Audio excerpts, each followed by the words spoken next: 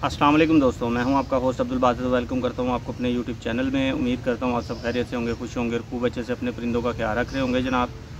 तो जनाब, आज की वीडियो में आपके साथ ना इन ब्रीडिंग वाला एक परिंदा शेयर करूँगा आपके साथ और दूसरा जो है ना, जो मेरे तजर्बे में इन ब्रीडिंग की वजह से जो कुछ खामियाँ आई हैं परिंदों के अंदर, वो आपके साथ शेयर करूँगा। तो जो दोस्त भाई चैनल पर नए चैनल को लाइक कीजिएगा शेयर कीजिएगा दोस्तों के साथ सब्सक्राइब करना ना भूलिएगा। तो उम्मीद है कि कुछ दोस्तों को जो नए शौकीन हैं, उनको हो सकता है कुछ ना कुछ सीखने को मिले। और जो भाई पुराना शौक़ कर रहे हैं, अगर वो मेरी बात से एग्री करें तो ज़रूर बताइएगा। और अगर वो मेरी बात मतलब उनको गलत लगती है तो भी बताइएगा जनाब। कमेंट ज़रूर कीजिएगा। ठीक है जी? तो ये परिंदा है जनाब। ये मेरे आम वाले कबूतरों में से है। और ये इन ब्रीड कह लें कोई चार से पाँच नस्लें इन ब्रीड हुई हैं। ठीक है जी? उसके बाद ये चीज़ है मेरे पास। आगे इसका शौक भी करवाता हूँ आपको और बताता हूँ कि जनाब, इसमें क्या खामी है और इसके साथ जो इसके बहनों में ख़ास कर मादियों में जो खामी आई थी वो भी बताता हूँ और जो नरों में आई थी वो भी बताता हूँ। ठीक है जी? तो वीडियो पूरी देखिएगा। उम्मीद है वीडियो आपको पसंद आएगी।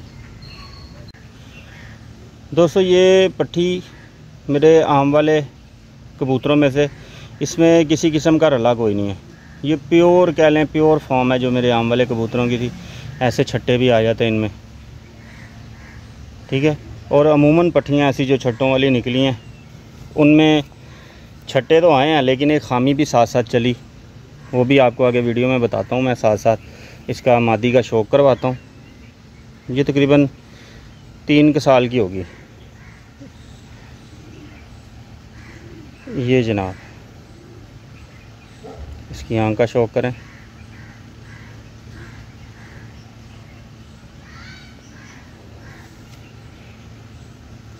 ये जनाब इसकी दूसरी आँख। इसका जिसम माशाल्लाह से मुलायम है। बहुत ज़्यादा मुलायम नहीं, बहुत ज़्यादा हार्ड नहीं, जैसा होना चाहिए वैसा लाइट वेट है ये। सारा कुछ ओके है। इसका पर देखें।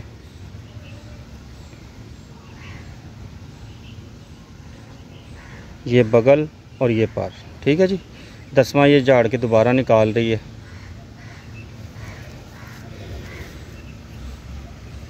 ये जनाब दूसरा पार इसका।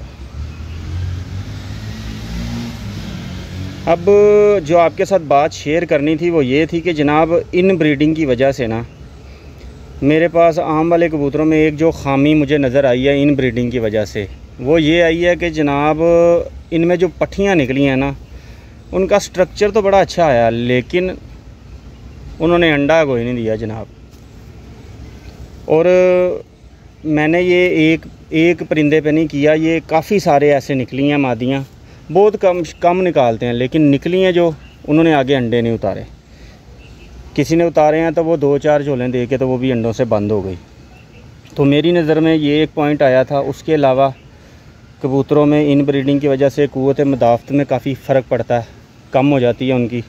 वायरस पड़ता है, अगर किसी के खुडे में है तो सबसे पहले उनको वो अटैक करता है। ठीक है जी? और दूसरी, ये दूसरी हो गई थी, अब तीसरी बात बताता हूँ, इन ब्रीडिंग की वजह से जनाब, मेरे पास जो चीज़ें आई हैं, मैं दूसरों की बात नहीं कर रहा, मेरे पास जो चीज़ें आई हैं, वो ये आई हैं कि जनाब,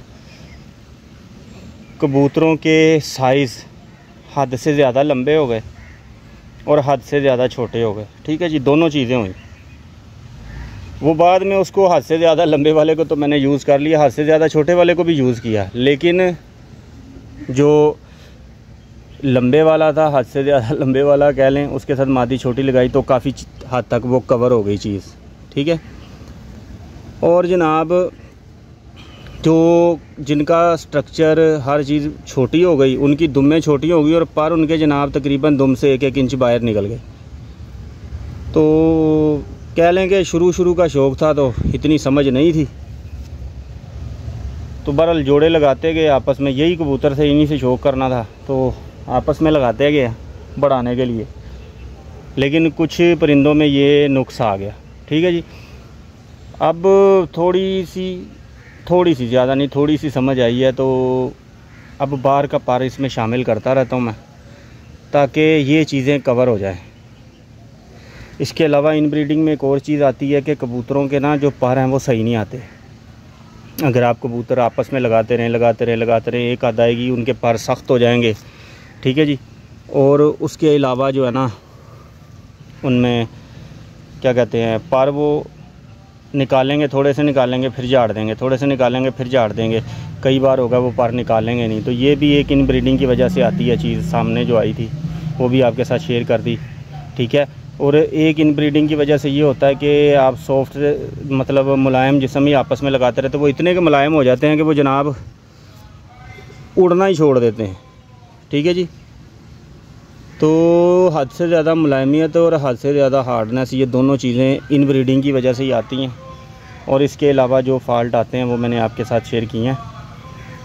ये मैंने अपना तजर्बा शेयर किया, हो सकता है मेरा गलत भी हो, मैं हतमी राय नहीं दे रहा। तो जो दोस्त भाई एग्री करते हैं इन वो ज़रूर बताइएगा कमेंट में कि जनाब मैंने कोई बात सही की है या गलत की है। ठीक है जी?